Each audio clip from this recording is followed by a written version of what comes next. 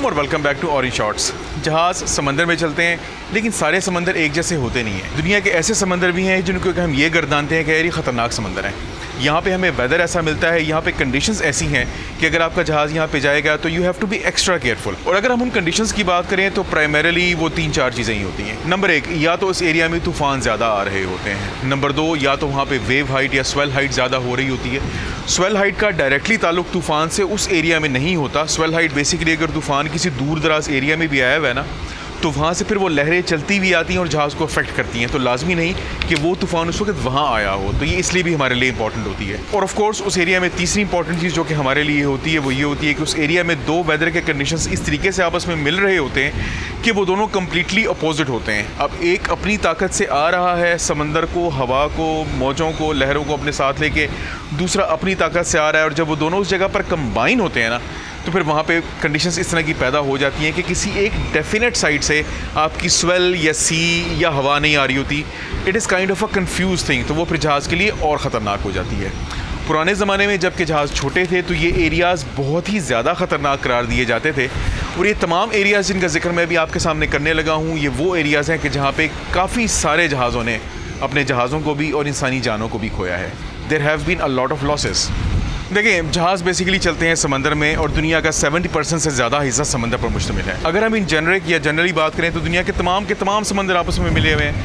तो इस पूरी की पूरी वाटर बॉडी को अगर हम देखें तो फिर ये एक ही बॉडी बन जाती है ना? यानी कि पूरा का पूरा पानी जो है, वो दुनिया के लिए जो कि रैपअप हुआ हुआ है, वो सारा का सारा एक ही पानी की बॉडी मिल जाती है। अब बीच में क्या है कि बीच में ज़मीन है। आपके बड़े बड़े कॉन्टिनेंट्स हैं। इन तमाम के तमाम कॉन्टिनेंट्स के बीच में से जहाज़ों ने अपना रास्ता ढूंढना होता है। तो ये सारे के सारे समंदर जो आपस में ज्वाइन हुए हुए हैं, वो ज्वाइनिंग लोकेशन कोई एक खास डेफिनेट किस्म की बाउंड्री तो है नहीं। आपको तो एहसास भी नहीं होता कि आप एक समंदर के हिस्से से दूसरे समंदर के हिस्से में चले गए। एक्सेप्ट अगर आप किसी ऐसी जगह से गुजरें कि जहाँ पे उन तमाम के तमाम समंदरों का मौसम एक दूसरे से टकरा रहा हो तो फिर आपके लिए ठीक ठाक किस्म का मसला होता है। इसी बुनियाद पर कम अज़ कम चार जगह ऐसी हैं कि जिनको ये कहा जाता है कि ये तमाम जगहें जहाज़ों की नेविगेशन के लिए ठीक ठाक ख़तरनाक हैं। लेकिन मेरा ख्याल ये है कि इन चार में एक इजाफा और होना चाहिए पाँचवीं जगह का, और मैं उस पाँचवीं जगह के बारे में भी आपको इन्फॉर्म करूँगा। दुनिया के वो समंदर जो कि ख़तरनाक करार दिए जाते रहे हैं या समंदरों की वो जगह जो कि ख़तरनाक करार दी जाती रही हैं उनमें मेरे ख्याल में चौथा नंबर हमें देना चाहिए बे ऑफ़ बिस्के को। बे ऑफ़ बिस्की ख़तरनाक है क्यों? Why is it so dangerous Bay of Biscay एक गोल सा एरिया है जो कि स्पेन और फ्रांस की कोस्ट के दरमियान में मौजूद है। बे ऑफ़ बिस्की के सामने खुला नॉर्दर्न अटलांटिक ओशन मौजूद है। नॉर्दर्न अटलांटिक ओशन से पावरफुल विंड्स और गल्फ स्ट्रीम आ रही होती है। एक तरफ़ से गल्फ स्ट्रीम आ रही होती है, एक तरफ़ से आपके डिप्रेशन डेवलप होकर आ रहे होते हैं। यूके और फ्रांस की कोस्ट के दरमियान में जो इंग्लिश चैनल है, वहाँ पर ठीक ठाक किस्म के करंट जनरेट होते हैं। ये सब की सब चीज़ें जब साउथ में आ रही होती हैं तो बे ऑफ़ बिस्की के सामने जो वो खुला अटलांटिक ओशन है, जहाँ से वो गल्फ स्ट्रीम आ रही है, वो अपने साथ पावरफुल विंड सी स्वेल और वेव्स लेके आती है। और जब ये कॉम्बिनेशन इस किस्म का बन जाए कि ऑन शोर की तरफ़ विंड जा रही हो, यानी कि बे ऑफ़ बिस्की के अंदर जेट इन कर रही हो तो फिर वो जो पावरफुल अटलांटिक ओशन की वेव्स है ना, वो धड़ा धड़ा के मारती हैं। वे ऑफ़ बिस्की के एरिया में आने के बाद इन वेव्स को आगे से रेजिस्टेंस मिलती है, कम गहराई की वजह से ना।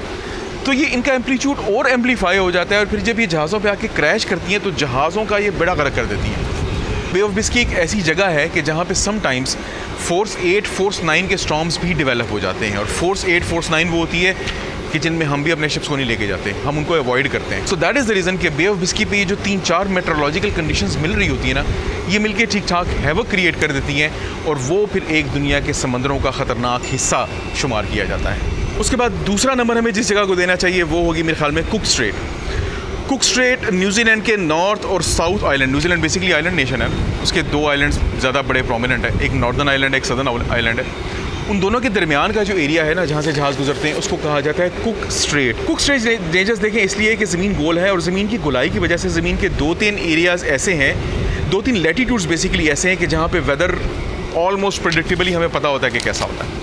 पहला आपका इक्वेटोरियल रीजन जहाँ पे आई सेट बन रहे होते हैं। मैंने इसका ज़िक्र अपनी तूफ़ान वाली वीडियोस में किया था। उसके बाद एक और चीज़ आ जाती है और उसको हम कहते हैं रोरिंग फोर्टीज़ यानी कि 40 डिग्री नॉर्थ और 40 डिग्रीज साउथ का लेटीट्यूड और खुले समंदर में ज़मीन की इस रोटेशन और एक्सिस की स्टिल्ट की वजह से यहाँ पे लगातार तूफ़ान बिल्डअप होते रहते हैं। एक तरफ़ एक आइलैंड है, एक तरफ़ दूसरा आइलैंड है। वो जो विंड वहाँ पे डेवलप हो रही है और रोलिंग फोर्टीज़ में चलती हुई आ रही है ना, अब उसको गुजरने के लिए बहुत छोटा सा पैसेज मिलता है कि पूरा का पूरा फ्लो आ रहा है और अचानक वो फ्लो रिस्ट्रिक्ट हो गया ना, दोनों आइलैंड आगे साइड पे।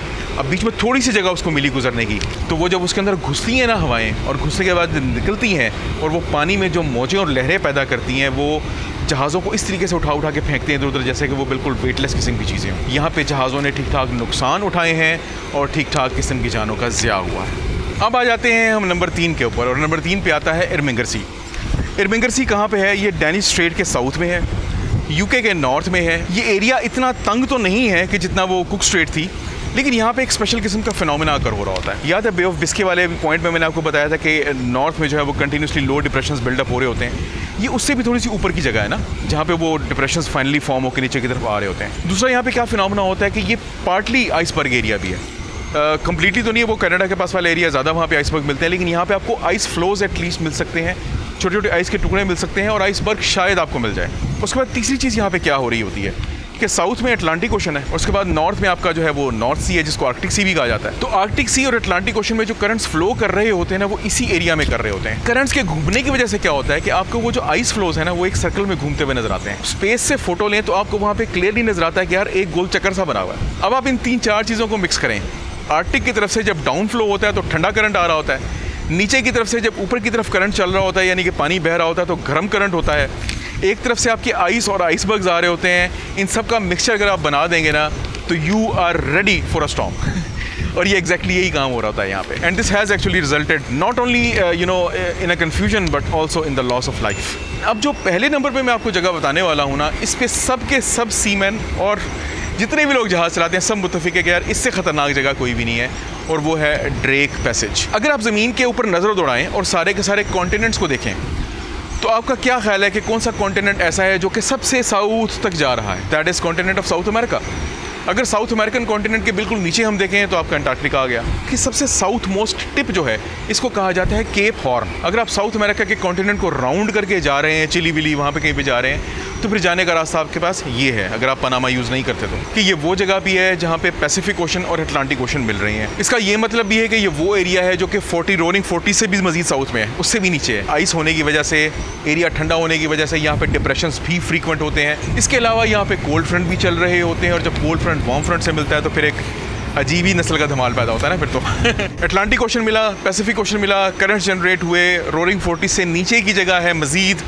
डिप्रेशन यहाँ पे डेवलप हो रहे हैं और आपके पास एंटार्क्टिका मौजूद है, जहाँ से बर्फ़ के तोदे आ रहे हैं।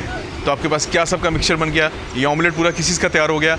ये ऑमलेट ऐसे कंफ्यूज किस्म के सी का तैयार हो गया, जो कि आपके जहाज़ के लिए ठीक ठाक खतरनाक है। छोटे मोटे जहाज़ है तो फिर उन पर तो ऐसे नुकसान होते हैं कि वो जानलेवा साबित होते हैं। People have lost life over there Drake Passage अगर मैं इसको ये कहूँ कि दुनिया का ख़तरनाक तरीन एरिया है बहरी जहाज़ों के लिए और एक समंदरी सफ़र के लिए गलत नहीं होगा।